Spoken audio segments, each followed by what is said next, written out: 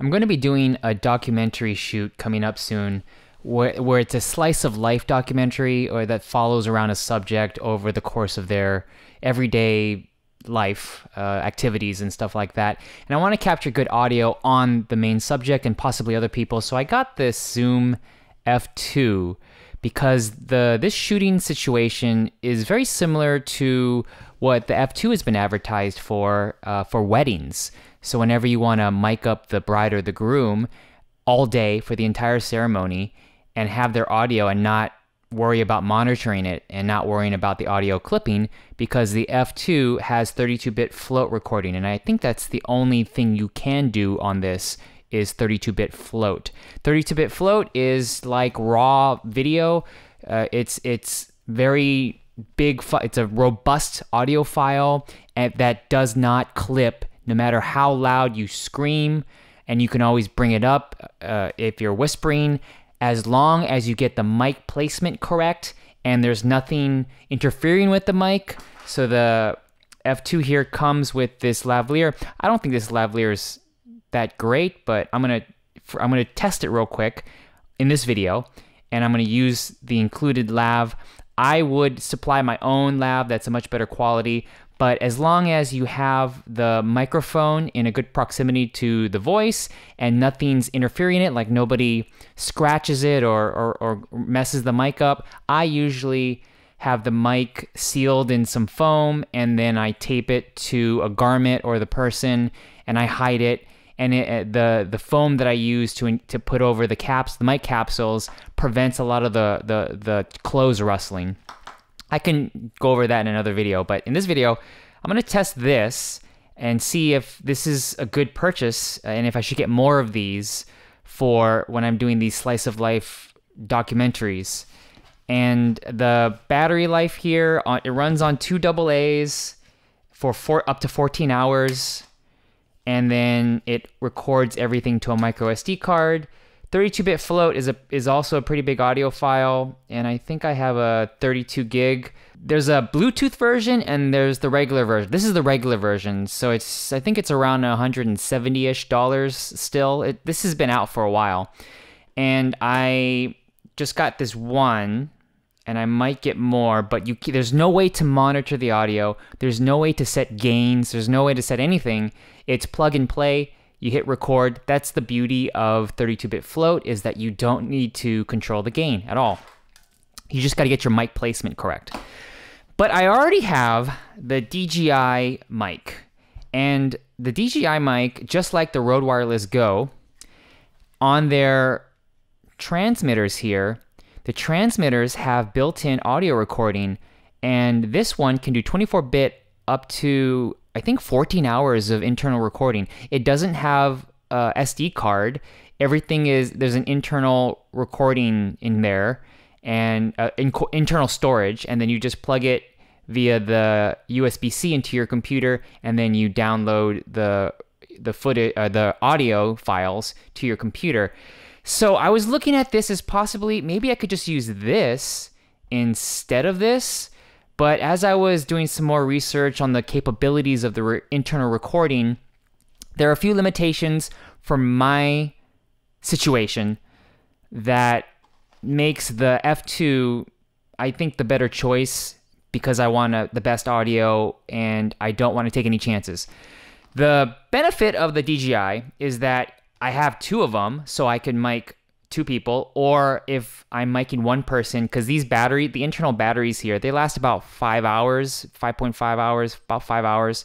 So I can put this on my subject for five hours. When this battery dies, I take that away and then I have the second one and pop that on the subject. So for one person, this is like a 10 hour 10 hour system right here. And or, or can do uh, continuously because this case can charge everything twice. So as I'm this one, I'm recording and then I'm done. I pop this one back to charge it, put this one up, put this one on the person, and then by the time this one's dead, this one should be charged, and I can keep going for two cycles.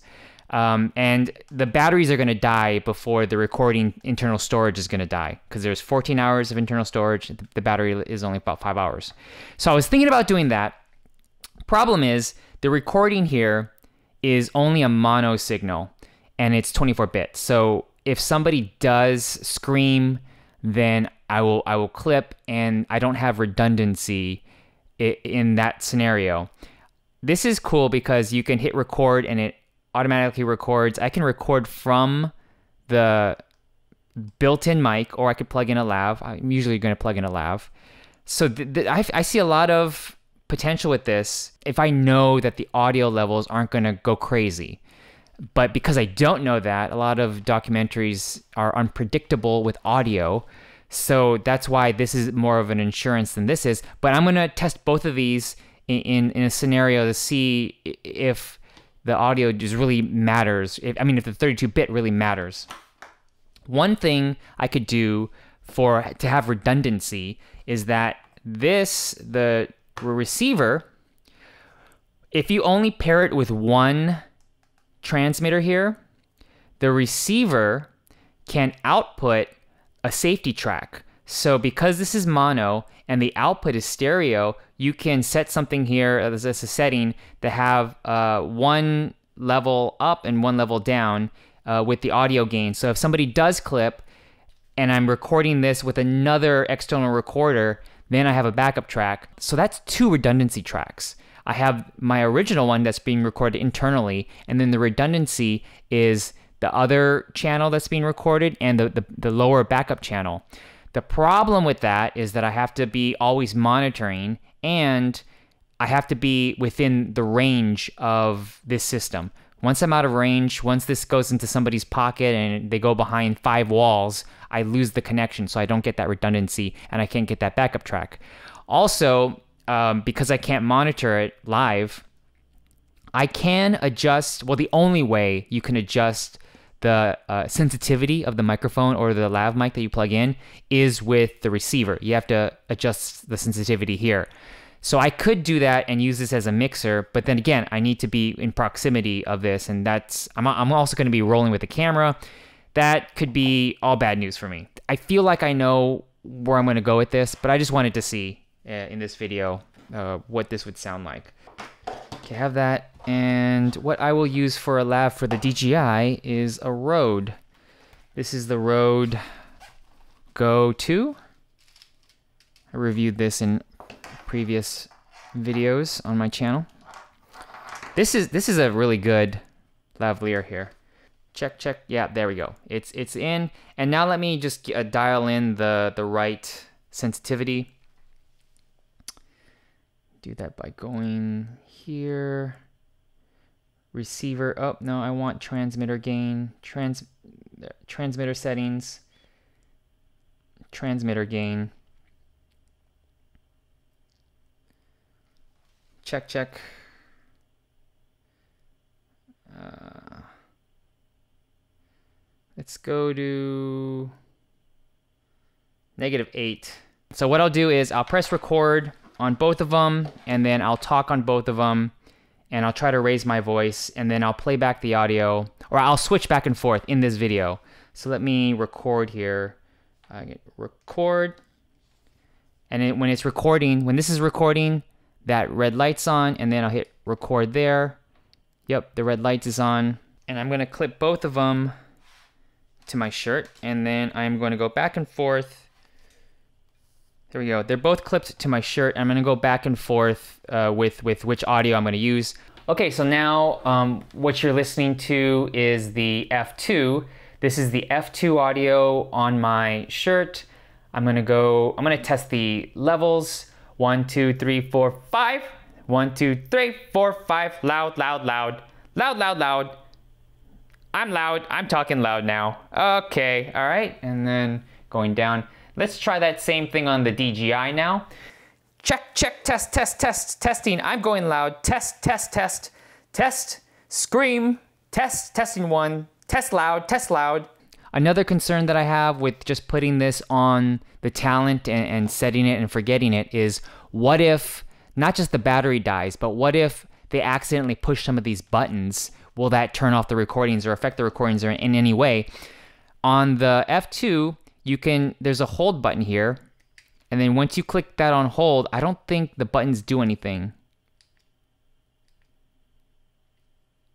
Yeah, it looks like all of the buttons they're, they're ineffective. Uh, like it takes away all the buttons. So once you put it on hold, someone could accidentally hit the buttons and nothing will happen. I think. With the DJI, oh, I didn't set it. You have to set this in the receiver. But here is the on off button to, to start and stop recording. You can program it to hit it once and start recording, and then it disables the record button. You have to go back into the receiver to stop it. So I, I didn't do that. I didn't set that. But um, so you could set it that way. And when this is in somebody's pocket or, or when the talent is running around with it, they can hit the buttons and it won't it won't turn off the recording.